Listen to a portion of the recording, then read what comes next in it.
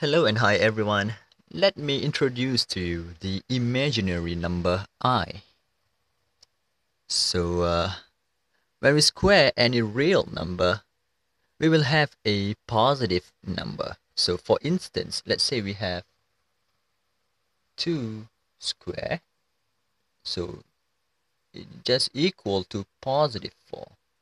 And uh, let's say we have let's say we have negative 3 squared is just equal to positive 9. So both of the results here are positive. The question is now, is there any number that when we that when we square it will give us a negative a negative number let's say negative 1 so uh, clearly there is no real number that satisfies this equation. So um, let's say we have some will suggest that x is just equal to z negative 1 because we bring the power 2 here to the right hand side so we, we will become the third power of half. So basically third negative 1 here is not is not what we call as real number. It's not real number. It's not tangible. And it is a imaginary number. Imaginary number.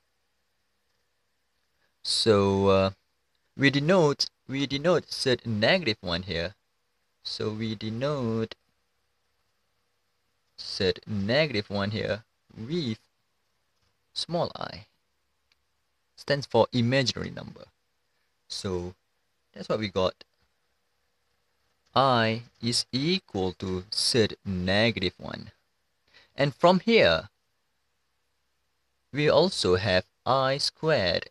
So therefore, i squared is just equal to negative 1. So we, we, we, we square both sides and then we have this, this i squared is equal to negative 1. And we can also continue with the with greater power here. Let's say I have i to the power of 3.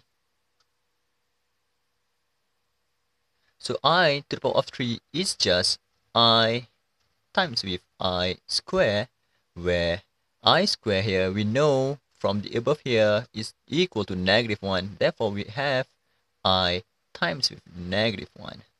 So i to the power of 3 here is like, it is just equal to negative i. And what about i to the power of 4? i to the power of 4 is just i squared times with i squared. So it's just negative 1 times with negative 1 it's just equal to 1. And we may, we may also um, write such, for example, let's say we have third negative 4. So uh, this one is also an imaginary number and we, we may write it like this. Set 4 times with set negative 1 so set 4 is just equal to 2 and set negative 1 here is i. So set negative 4 is equal to 2i and we also let's say we have negative 3 set negative 3 so set negative 3 is set 3 times with set negative 1 again we have z3 z3 z negative 1 is i. So we have z3 i.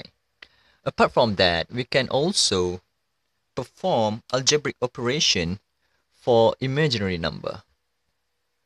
Algebraic operation on imaginary number. So uh, we have addition and subtraction. We may add and subtract imaginary number such that let's say for example for instance we have we have 6i plus 2i so it's just equal to 8i and let's say we we may have 5i minus with 3i so it just give us the answer with 2i we may also perform multiplication and division on imaginary number. So uh, and it, it, it will give us a real number. So for instance, we have, let's say, um, 3i times 2i. So we have 6i squared. And i squared, again, i squared is just negative 1. So we have 6 times negative 1. It will become, the final answer is negative 6.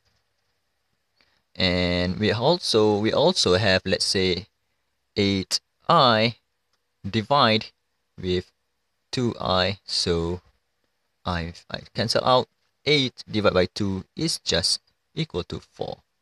So um, I hope this video helps you in understanding the, the concept and the operation involving imaginary number. Till next time, bye bye.